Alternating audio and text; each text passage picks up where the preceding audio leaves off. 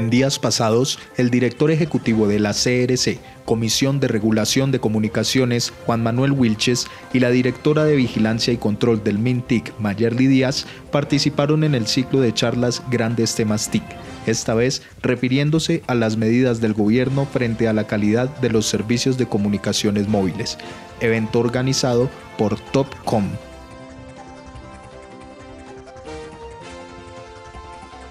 Eh, bueno, esa es una tarea que venimos haciendo nosotros desde hace bastante tiempo, desde el año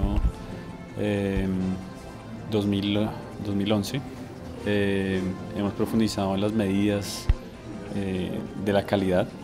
El enfoque en este momento es principalmente sobre voz móvil. digamos que ha habido algunas mejoras en ciertos aspectos, hay algunas cosas por corregir pero eh, en este momento, año 2015, estamos trabajando en una revisión integral del régimen de calidad de servicio, que incluye tanto servicios móviles como fijos y nos estamos enfocando mucho en los servicios de datos.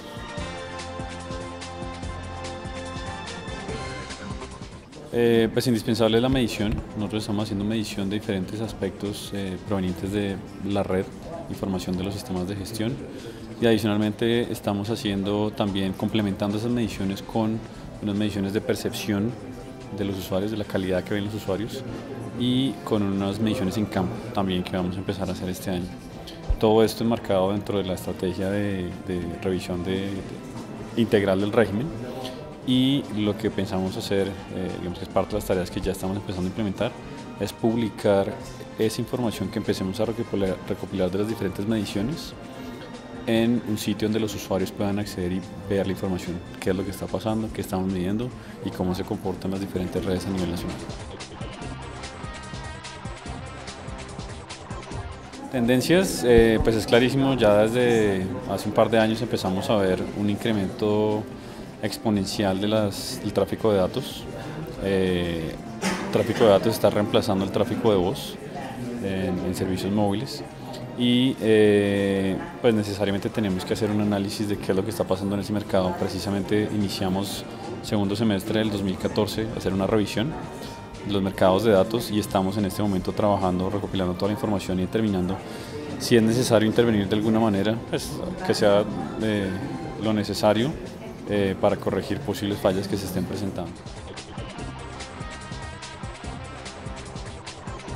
Retos, yo creo que esa, esa acomodación de las diferentes eh, ofertas del mercado, los operadores entrantes eh, que ingresaron con base en la subasta de 4G en el año 2013 eh, siguen creciendo.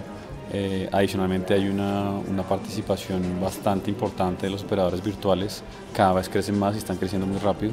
Y para nosotros pues es importante ver que los operadores están, están creciendo, esos nuevos operadores están creciendo que generan eh, unos retos para los operadores existentes en cuanto a ofrecer mejores tarifas eh, y mejores condiciones de calidad de servicio para los usuarios. Eso es, eso es clave. Y desde el punto de vista de usuarios, pues eh, es la prioridad nuestra trabajar para que el usuario tenga las condiciones adecuadas para comprar y poder utilizar de una manera adecuada sus servicios.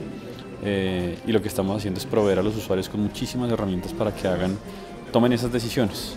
Eh, estamos utilizando criterios eh, innovadores en términos de aplicar teorías de economía del, comportamiento, psicología del consumidor, cómo se comportan los usuarios en el momento de hacer la compra eh, y utilizar sus servicios, para que esto de alguna manera ayudemos a que la regulación genere esas herramientas que sean simples, claras y transparentes para los usuarios.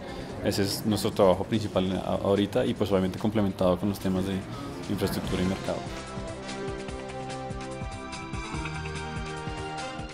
Em, de servicios OTT pues, se viene desarrollando muy rápidamente. En finales de febrero publicamos un documento de análisis del mercado de servicios audiovisuales, que es donde digamos que por el momento se ve como más el impacto que están teniendo este tipo de servicios. Eh, estas plataformas, estos servicios que se están prestando OTT eh, sobre, sobre, las redes existentes, sobre Internet principalmente, están generando un impacto grande en, el mercado, en los mercados de comunicaciones. Y eh, necesariamente los operadores existentes se tienen que acomodar a esa realidad. Hay muchos que están ya ofreciendo soluciones en línea de sus contenidos, por ejemplo, en el caso de, de, estos servicios audiovisuales, los contenidos que tienen a través de sus redes tradicionales también los están ofreciendo en línea. Y eso pues, definitivamente lo que hace es que se reconfigure el funcionamiento del mercado y pues nosotros como reguladores tenemos que estar en la línea de analizar eso y prever qué es lo que va a pasar. Y pues en eso estamos ahorita precisamente en proceso de discusión.